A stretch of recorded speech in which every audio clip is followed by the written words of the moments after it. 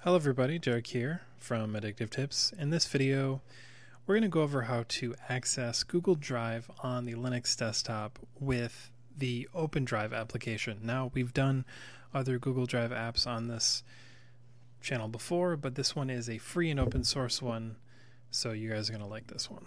So let's get started. So to start off, open up a terminal window and check the article in the description for information on how to get it going. The best way, in my opinion, is to just install the Snap application because it's literally just a single command and the entire sync client is up and running and ready to go. You don't need to download anything so long as you have the Snap uh, runtime application set up and working in your Linux system. So once the app is done installing from the Snap Store, search for Google or Open Drive in your app menu, launch the application and let it start up.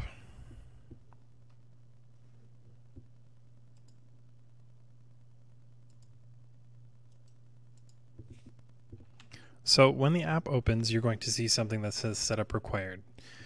Click next. From here, you can choose where a folder should go. And uh, you actually can't choose, uh, at least you can't choose like a Google folder. You should just choose a folder that makes sense to you. But first, before we do that, click on the connect button, and this will allow you to sign into your Google account. So let me do that really quick.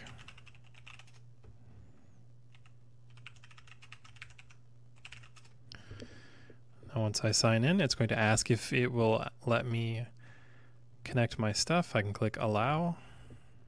And uh, now we can allow it to go to the default snap folder and you can also just create a drive folder if you so choose just click the browse button for that but then you just click the synchronize button and it will start downloading everything that you need to have to use Google Drive and sync all your files to your system and uh, we can see all of the files in motion here in a second so once everything starts downloading things will start to populate in your sync folder.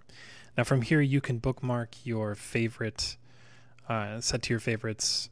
So if I want to, I can add my, and this is different with every file manager, but on KDE, if say if you wanted to, you could add this to places.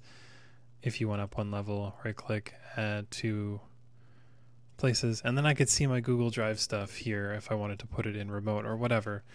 And uh, the application, if you just leave it minimized, will download all of your Google stuff. And at any time, if you want to upload stuff to Google Drive, you just paste it in the default folder or wherever folder you had it.